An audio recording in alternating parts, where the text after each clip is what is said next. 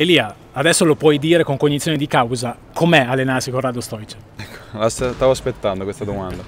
Sicuramente è un grandissimo allenatore, sa bene quello che vuole da noi mi ha fatto ovviamente una buonissima impressione, ma non sono io certo quello che deve giudicare il suo lavoro.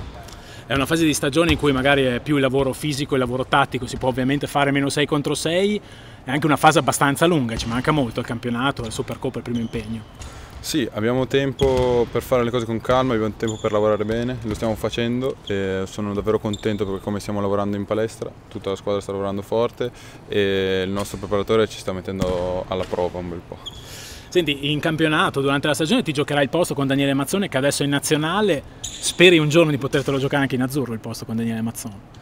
Ma eh, sperare è lecito, eh, io, sono, io, essere, io, sono, qua al Palapanini per... Eh, per aiutare la squadra a vincere tutte le domeniche. E posso, voglio farlo dove deciderà il coach. Spero di conquistarmi presto la sua fiducia, la fiducia della squadra e ovviamente del palazzo. Hai sentito gli altri tuoi ex compagni di squadra, Bruno, Ngappet, quelli che sono in giro per l'Europa e per il mondo con le proprie nazionali? Sì, sì, li ho già sentiti, stanno, stanno lavorando, hanno avuto qualche giorno per recuperare e adesso si stanno preparando ai loro impegni. Cosa ti aspetti poi, infine, almeno l'ultima domanda per me, dal Palapanini? Quest'anno stiamo abbattendo ogni record di abbonamenti. Sì, sicuramente, è sempre magico, il palazzetto è unico nel suo genere, Modena è unica e i suoi tifosi lo sono.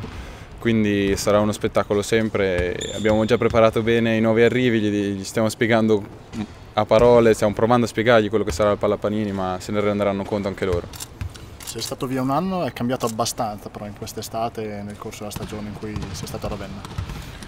Sì, sono stato via un anno e adesso rientro per questo progetto molto, molto ambizioso con un sacco di campioni e sono veramente contento di farne parte e voglio dare tutto quello che ho per, per riuscire a fare il meglio possibile di questa stagione. Sei un giovane in questo periodo, però ti stai allenando con tanti ancora più giovani di te, tanti giovanissimi, com'è il rapporto che si sta creando e magari se dai anche qualche consiglio dopo quello che è stato il tuo primo vero anno da protagonista? Allora, dare consigli non è mai facile, sicuramente eh, si può dare il buon esempio, io cerco di fare del mio meglio e per quel che posso sì, faccio questo.